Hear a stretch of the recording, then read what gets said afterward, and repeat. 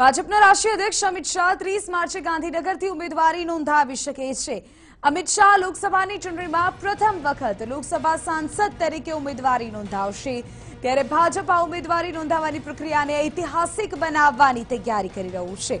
ઉમેદવારી પત્રક ભરવાની આ ક્ષણને ઐતિહાસિક અને ખાસ બનાવવા માટે ભાજપની રાષ્ટ્રીય ટીમ અને પ્રદેશ ટીમ મળીને તૈયારી કરી રહી છે.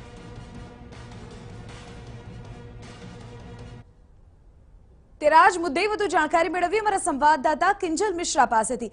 કિંજલ, ગાંધીનગરથી અમિત શાહ મેદાને ઉતરવાના છે અને તેઓ જ્યારે ફોર્મ ભરવા જશે, તેમની જે પ્રક્રિયા છે તેને ઐતિહાસિક બનાવવાની તૈયારી પ્રદેશ અને રાષ્ટ્રીય કક્ષાએ અત્યારે થઈ રહી છે. કયા પ્રકારની તૈયારીઓ અત્યારે જોવા મળી રહી છે?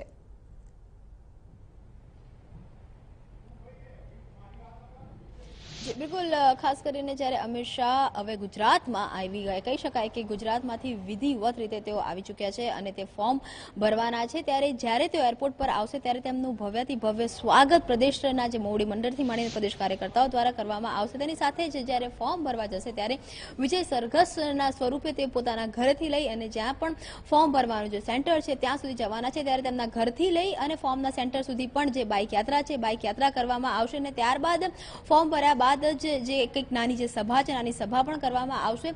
દીપાલી, ખાસ કરીને જે રીતે અમિત શાહના નામની ઘોષણા થઈ હતી, કેમ કે જે રીતે નિરીક્ષકોની સામે પણ એકમાત્ર આ નામ હતું મૂકવામાં આવ્યું હતું અને જે રીતે અમિત શાહના નામની ઘોષણા થઈ હતી, ત્યારથી જ ગાંધીનગરની જો વાત કરવામાં આવે તો ગાંધીનગરની સાથે આખા જ ગુજરાતની અંદર એક જે મેસેજ હતો મેસેજ ભાજપ દ્વારા મૂકવામાં આવ્યો હતો કે આ અમિત શાહના ગુજરાતમાં રહેવાથી સીધી છવ્વીસ સીટો પર અસર થશે અને એક જે પોઝિટિવ વાઇબ્રેશન છે પોઝિટિવ વાઇબ્રેશન આ છવ્વીસ સીટો પર આવશે અને ક્યાંક ને ક્યાંક એવું પણ માનવામાં આવે છે કે અમિત શાહ દ્વારા ગુજરાતમાં એક કે બે સભાઓ જ કરવામાં આવશે. બાકી જે ગાંધીનગરની બેઠક છે, ગાંધીનગરની લોકસભા બેઠક છે, તેની માટે કાર્યકર્તા પદાધિકારીઓ પોતે જ સભાઓ કરવાના છે. એટલે કહી શકાય કે કોઈ એક વ્યક્તિના રાષ્ટ્રીય નેતૃત્વ, કેમ કે આ જે ગાંધીનગરની બેઠક છે, ગાંધીનગરની બેઠક ઉપરથી હંમેશા ભાજપના ભાજપના જે દિગ્ગજ નેતાઓ છે, તેમણે જ લડત આપી છે. એ લાલકૃષ્ણ અડવાણી હોય તો પણ, એ અટલ બિહારી વાજપેયીજી હોય તો પણ, અને શંકરસિંહ વાઘેલા પણ જ્યારે ભાજપમાં હતા, ત્યારે તે આ સીટ ઉપરથી લડ્યા હતા. અને કહી શકાય કે એલ કે અડવાણીનો વારસો જ્યારે અમિત શાહને મળી રહ્યો છે તે સમયની અંદર એક ખૂબ મોટો માહોલ બનાવવાનો અને એક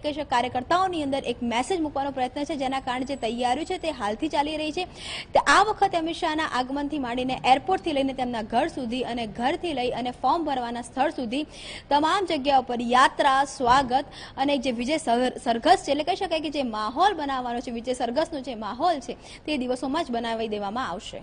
બિલકુલ, કે જિલ્લા ભારત તમામ જાણકારી બદલ તો ગાંધીનગરથી અમિત શાહનું ઉતરવું એ પણ એક માસ્ટર સ્ટ્રોક મનાતું હતું અને હવે તેને ઐતિહાસિક બનાવવાની કોશિશ. પ્રદેશ કક્ષાએ અને રાષ્ટ્રીય કક્ષાએ પણ થઈ રહી છે, ત્યારે સીધી અસર રાજ્યની અન્ય બેઠકો પર પણ જોવા મળી શકે, કારણ કે વિજય સરઘસ સ્વરૂપે શક્તિ પ્રદર્શન સાથે ફોર્મ ભરશે અમિત શાહ.